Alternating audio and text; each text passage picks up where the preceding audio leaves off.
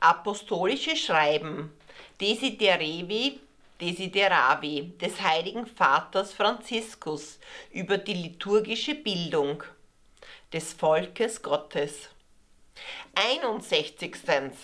Ich wollte nur einige Überlegungen anstellen, die den unermesslichen Schatz der Feier der heiligen Geheimnisse sicher nicht erschöpfen. Ich bitte alle Bischöfe, Priester und Diakone, Seminarausbilder, Lehrer an den theologischen Fakultäten und Schulen sowie alle Katecheten und Katechetinnen, dem heiligen Volk Gottes zu helfen, aus dem zu schöpfen, was seit jeher die Hauptquelle der christlichen Spiritualität ist. Wir sind aufgerufen, den Reichtum der allgemeinen Grundsätze, die in den ersten Nummern von Sacrosanctum Concilium dargelegt sind, immer wieder neu zu entdecken und die enge Verbindung zwischen der ersten, der konziliaren Konstitutionen und allen anderen zu verstehen. Deshalb können wir nicht zu jener rituellen Form zurückkehren, die die Konzilväter cum Petro und sub Petro für reformbedürftig hielten, indem sie unter der Führung des Geistes und nach ihrem Gewissen als Hirten die Grundsätze billigten, aus denen die Reform hervorging. Die heiligen Päpste Paul VI. und Johannes Paul II. haben die revidierten liturgischen Bücher per Dekret Sacrosancti genehmigt und damit die Treue der Reform zum Konzil garantiert.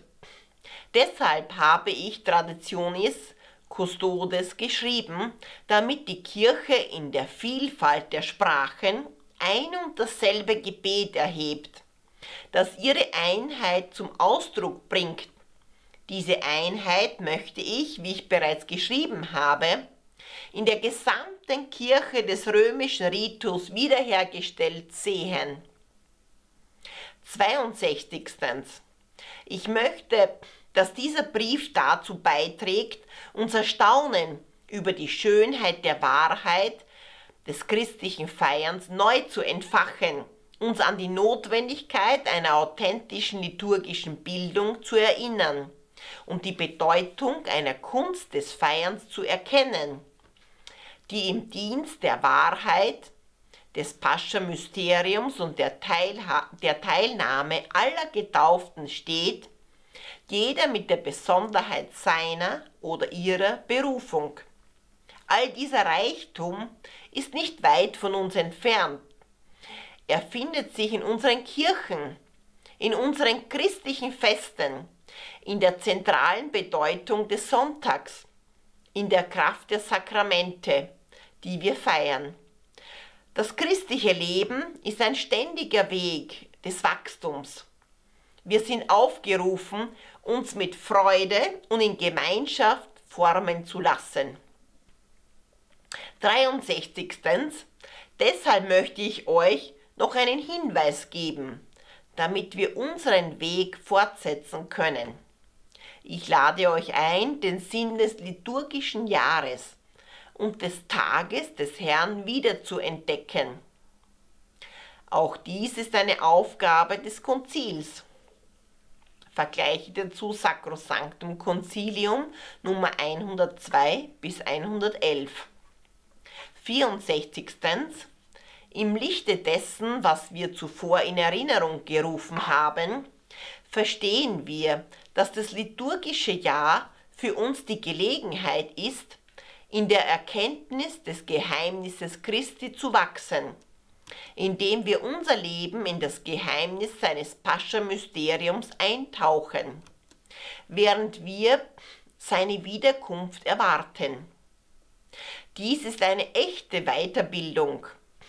Unser Leben ist keine zufällige und ungeordnete Abfolge von Ereignissen, sondern ein Weg, der uns von, Ost, von Ostern zu Ostern mit ihm in Einklang bringt. während wir die Erfüllung der seligen Hoffnung und das Kommen unseres Erlösers Jesus Christus erwarten. 65.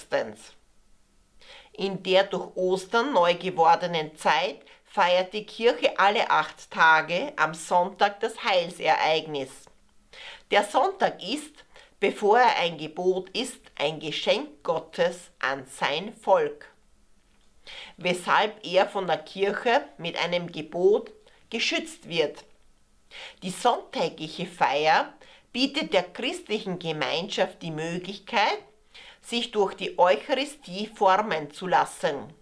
Von Sonntag zu Sonntag erhält das Wort des Auferstandenen unsere Existenz und will in uns wirken, wozu es gesandt wurde.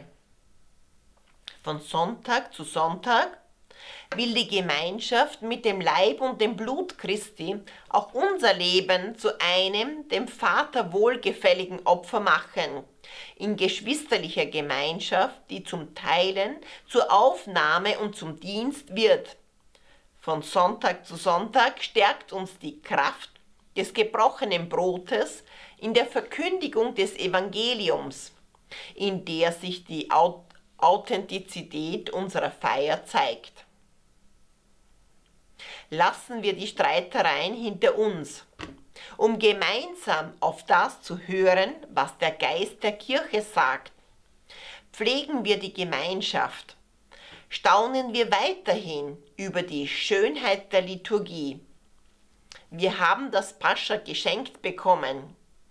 Lassen wir uns von dem ständigen Wunsch des Herrn beschützen, es mit uns zu essen, unter dem Blick Mariens, der Mutter der Kirche. Gegeben zu Rom bei St. Johannes im Lateran am 29. Juni dem Hochfest der heiligen Apostel Petrus und Paulus im Jahr 2022, dem 10. meines Pontifikates. Papst Franziskus.